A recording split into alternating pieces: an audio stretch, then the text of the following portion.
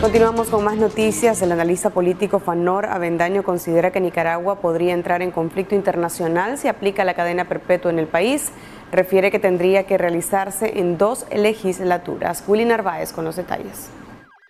Ningún sector en el país de los que hasta este momento se han pronunciado aprueban las pretensiones del gobierno de implementar cadena perpetua. Fanor Avendaño, analista político, considera que la administración Ortega Murillo estaría a las puertas de un nuevo conflicto internacional. Primero a una consulta con la Corte Interamericana y, también con el Pacto de, de Derechos Políticos y Civiles de las Naciones Unidas. Y después de ese proceso de consulta a ver si puede ser aplicado a Nicaragua, porque de lo contrario entraría en contradicción y entrarías a una litis internacional donde el Estado de Nicaragua puede ser cuestionado y puede ser sancionado por haber transgredido normas fundamentales de derechos humanos. El gobierno pretende castigar con mano dura a quienes cometan crímenes de odio, una figura que hasta ahora no está clara, pero que muchos han interpretado que podría ser utilizada para encarcelar a opositores. Primero hay que definir en las nuevas teorías del derecho que es un crimen de odio. Toda hazaña es odio.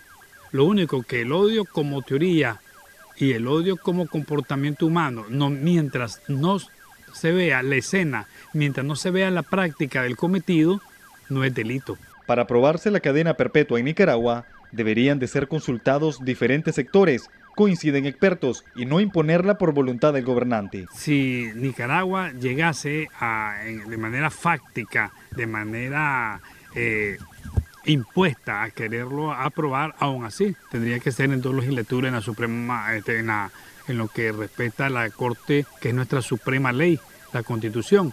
Para que la suprema ley o la ley fundamental sea reformada, se requiere obligadamente de dos legislaturas, o sea que se pueda introducir este año y tenga que ser aprobada hasta el próximo año.